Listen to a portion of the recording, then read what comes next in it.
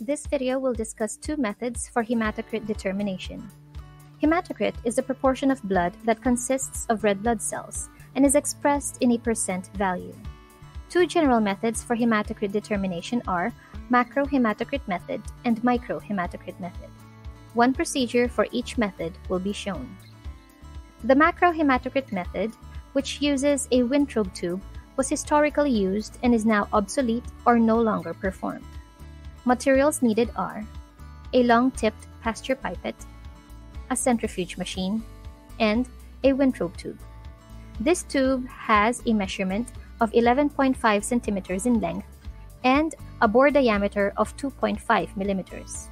It has two series of graduations from 0 to 100, one ascending and the other one in descending order. We will be using the graduation on the right for hematocrit, which is 0 at the bottom and 10 at the top.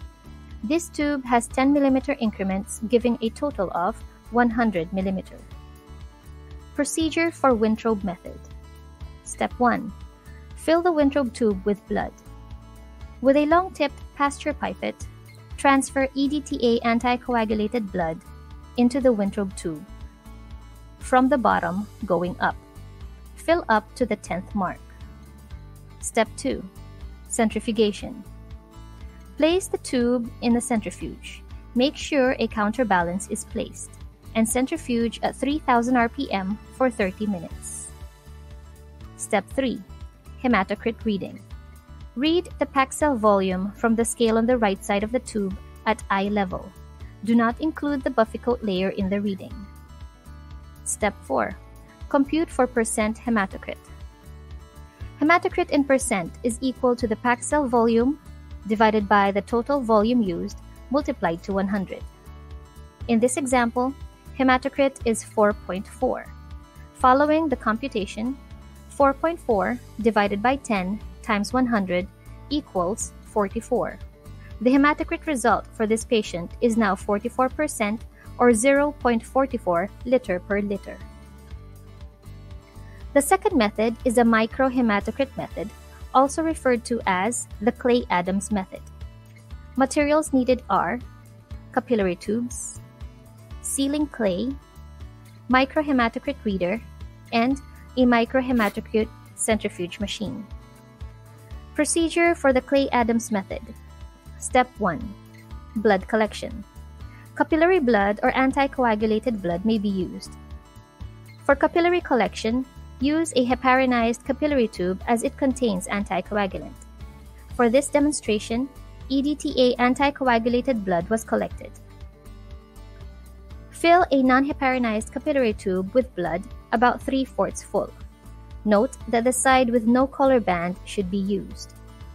Step 2. Sealing the other end of the tube.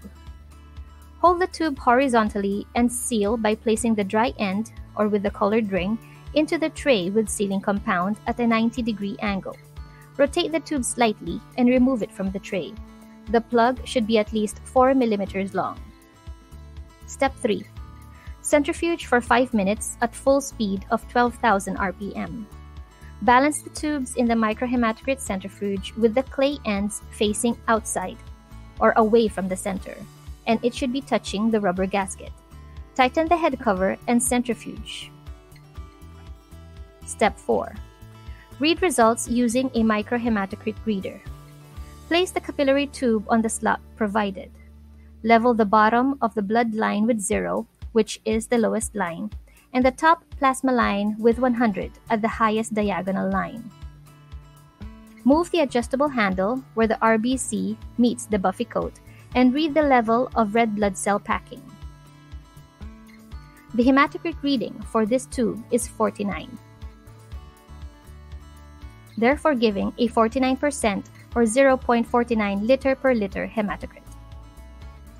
When two capillary tubes are processed, the values of the duplicate hematocrits should agree within 1%. The different sources of error for both macrohematocrit and microhematocrit methods are caused by sample mishandling, incorrect performance, or some disease conditions. An increased concentration of anticoagulant, which usually happens during a short draw, decreases the hematocrit reading because of RBC shrinkage. A decreased or an increased result may occur if the specimen was not mixed properly. Hemolyzed samples give a decreased result, as red blood cells have already been destroyed before packing. Improper sealing of the capillary tube causes a decreased hematocrit reading because of leakage of blood during centrifugation.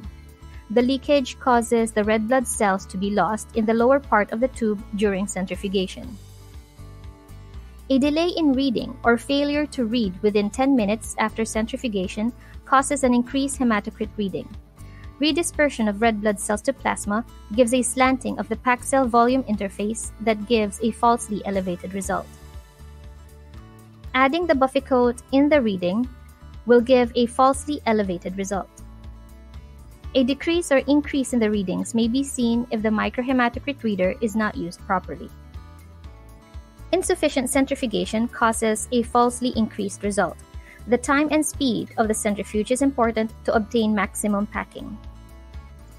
Disorders such as sickle cell anemia, macrocytic anemia, hyperchromic anemia, spherocytosis, and thalassemia may cause plasma to be trapped in the red blood cell layer, causing an increased value. Patient plasma volume may also increase or decrease a hematocrit reading. Blood loss may give a low hematocrit reading because plasma is replaced faster than red blood cells, while dehydration increases hematocrit readings because of a decreased plasma volume. And that ends the different methods for hematocrit determination in the hematology laboratory.